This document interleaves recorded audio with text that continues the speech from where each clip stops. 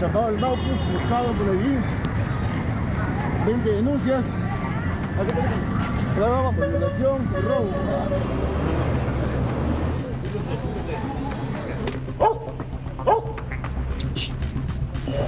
Maldito, violador, maldito, man, así eres. ¿Qué dijiste? ¿Que ibas a, que te ibas a librar? ¿Qué tienes que decir en, en tu defensa? Porque Nada, la- las jefe. pruebas son contundentes. Nada, jefe. ¿Ah? ¿No tienes nada que decir? Nada, jefe. Son denuncias también por Nada, estafa. jefe, nada. ¿Ah? ¿Has robado Todo. también las pertenencias? Todo está, todo está ahí con, eh, en el proceso. Todo es mentira, todo está.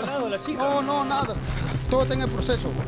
Este sujeto que se hace el desentendido es Julio Emilio Romero Auqui, más conocido en el mundo de las aplicaciones de citas como Julio Magnate. Nervioso y dubitativo ante las cámaras, pero cuando captaba y enamoraba a sus víctimas, hacía gala de un verbo fluido. Espero que Julio, el Julio Emilio Romero Auqui vaya a la cárcel, se pudra, él no midió sus consecuencias, me violó, me robó. No estuviera ahorita contándola, Debido a las decenas de denuncias que acumula desde el 2015, su modus operandi ya era conocido por los agentes policiales.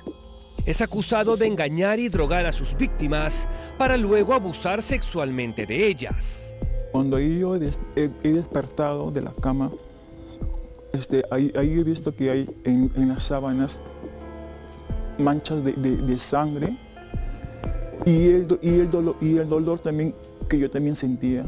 Entonces, este, entonces ahí, ahí yo, me doy cuenta que, que ese desgraciado me había violado, me había drogado y me había violado. La persona es, eh, está identificada como Julio Emilio Romero Auqui. Tenemos un registro desde el 2015 de esta persona, las cuales totalizan un 39, 39 denuncias que registra en la base de datos de la Policía Nacional del Perú, de las cuales son 10 por violación sexual en estado de inconsciencia. Julio Romero actualmente se encuentra detenido siete días por el presunto delito de violación de personas en estado de inconsciencia y robo agravado. Sin embargo, a pesar de las decenas de denuncias y que ya estuvo detenido siete días en mayo del presente año, las víctimas temen que vuelva libre a las calles y continúe atentando contra más mujeres indefensas. Él es Julio Emilio Romero Auqui, de 49 años. Un hombre que según sus múltiples redes sociales se muestra como un próspero trabajador del sector minero. Son estas imágenes las que Julio Emilio, más conocido como Auqui, usaba en las aplicaciones de citas donde se presentaba como Julio Magnate, para demostrar a sus posibles víctimas que tenía experiencia en la minería. Auki usaba aplicaciones de citas como Facebook Parejas para captar a mujeres que rondan los 50 años. Luego de entablar conversaciones con ellas, las citaba en diversas partes de la ciudad. Con la excusa de un presunto dolor de espalda, las llevaba a un cuarto de hotel donde les ofrecía una bebida energizante, bebida que sería lo último que ellas recordarían. Por las páginas este, de parejas, bueno, como que, como que yo lo conozco al señor. Él me dijo que, que, él era un, hombre soltero, que tenía este, una, un- un- una sola hija, pero que estaba en- enfermo de la cintura y que, y que se lo hacían a él este, terapias. Auki sabía cómo llegar a sus víctimas, tras entablar confianza en el aplicativo de citas, contándoles acerca de su vida familiar y de sus presuntos dolores de espalda, llevaba la conversación al WhatsApp. Soy de Lima, de Comas. Trabajo en mina hace 10 años. Soy solo 9 años. Vivo con mi hija hace 9 años. Tengo 48 años de edad. Mi hija se fue a vivir a otro lado hace dos meses. Tras meses de conversaciones donde Auki iba ganándose la confianza de sus víctimas, finalmente ellas accedieron a conocerlo en persona. Una vez que se encontraron con el presunto trabajador minero, este continuó con su macabro plan. Y se sentó en un murito, pues me dice, no, me duele la cadera. Alquilo un, un cuarto, me dice, para yo descansar un rato. Mi señor le digo, pero no, me dice, por favor, por favor, todavía sí, sí, por favor, por favor, me dijo. Ya bueno, señor, le dije. Pero es así, le dije a conversar. Nada más. Se fue a comprar ahí a una tiendita. Yo pensé que había comprado un pero no más. Y había comprado dos. Estábamos ahí en, un parque conversando. Me siento mal, me dice. ¿Sabes qué? Me dice, por favor, me dice tú me podrías sobar, me dice. Frente del parque había, había un, hostal. Pero mira, confío en ti, le dije Julio. Sí, sí, sí, me confía en mí, me dice palabra, palabra. Yo te juro que como que ahí no pasa nada de tanta cosa. Y me acuerdo fuimos al hostal. Él, él, él agarró, entró, entró ahí a, no sé, a pagar y, y compró dos espores, compró él. En estas cámaras se comprueba cómo Auki ingresa con una de las víctimas al hostal. Dentro de la habitación, al parecer, Julio Romero Auqui encuentra el momento para disolver una droga en la bebida que adormece a sus víctimas y de esta manera cometer sus más abominables delitos. Hoy me lavo la mano y regreso. Ya, pero él ya lo tenía el spray. Ah, este, me dice, toma. No, le digo, ahorita no quiero. Toma, me vas a dejar con la mano estirada. Ya empecé a tomar de poquito en poquito y quedó más de, la, más de la mitad porque no tomé todo. Varios meses después del ultraje, recuerda con pavor cómo la empezó a invadir el sueño y perdió la voluntad de sus movimientos.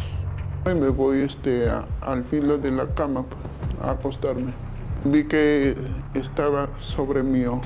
No pude hacer nada. Eh, pues yo pensé que estaba soñando.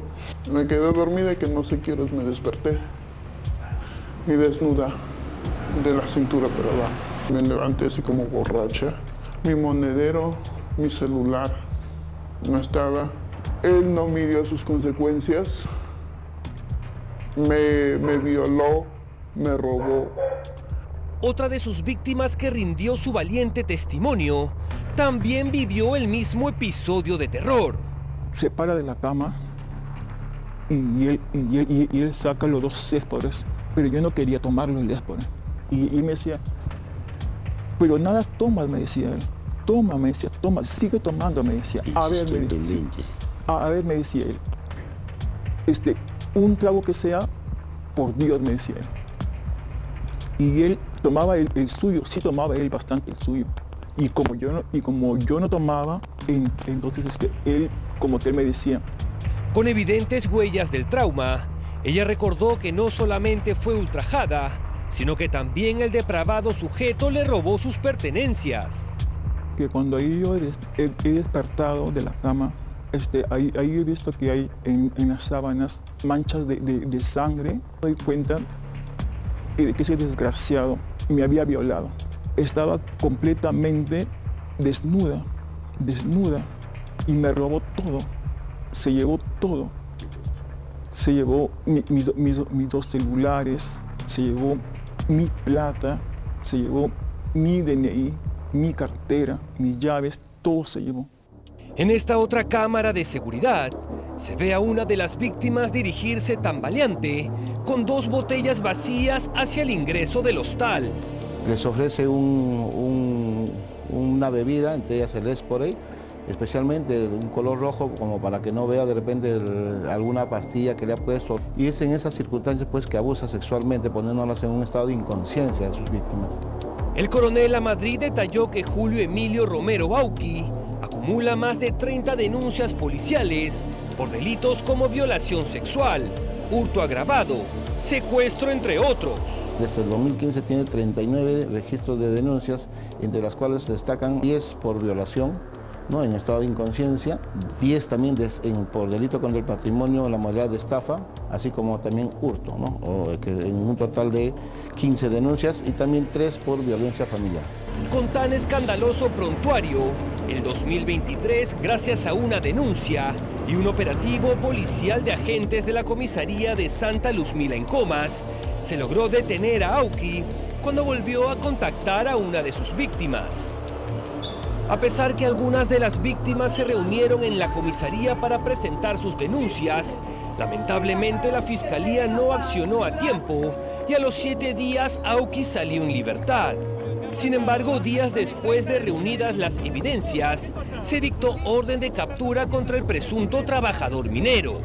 Este sujeto fue intervenido nuevamente y se encuentra con siete días de detención preliminar. Las víctimas esperan que en esta ocasión la Fiscalía pueda solicitar la detención preventiva de Julio Emilio Romero Auqui ante los numerosos casos por los que ha sido denunciado. Ellas invocan al resto de víctimas de Julio Romero Auqui a presentar sus denuncias y pruebas correspondientes a fin que ninguna otra persona caiga en manos de semejante monstruo.